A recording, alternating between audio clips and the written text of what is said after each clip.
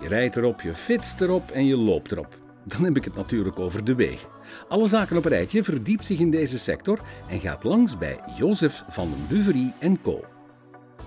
Op technisch vlak tegenwoordig veel ingezet op topografie.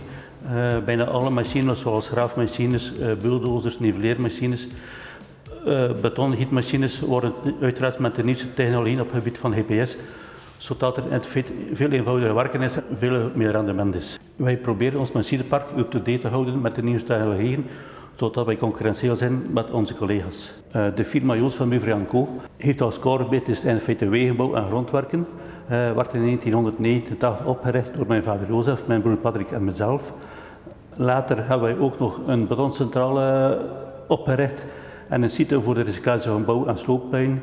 Heette daar werken wij met een 65-tal medewerkers. Onze projecten behelzen zowel het renoveren van bestaande wegen als het volledige heraanleggen van wegen en skiisolering. Wij verzorgen ook de infrastructuurwerken voor nieuwe verkavingen. Private bedrijven verzorgen wij de rondwerken en de aanleg van parkings en andere verhardingen. Onze opdrachtgevers zijn zowel gemeentebesturen, stadsbesturen, provincies, intercommunales als uh, Vlaamse West, als private projectontwikkelaars. Momenteel zijn wij bezig met de grondwerken voor de aanleg van een nieuw industriegebouw te Waarhem. Daarbij graven wij een bouwplat uit van 17.000 kubiek.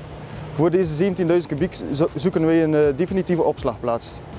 Na het aanleg van het industriegebouw zorgen wij voor de aanleg van de wegennetten rondom het gebouw en breiden we deze site uit met een parking van een honderdtal parkeerplaatsen.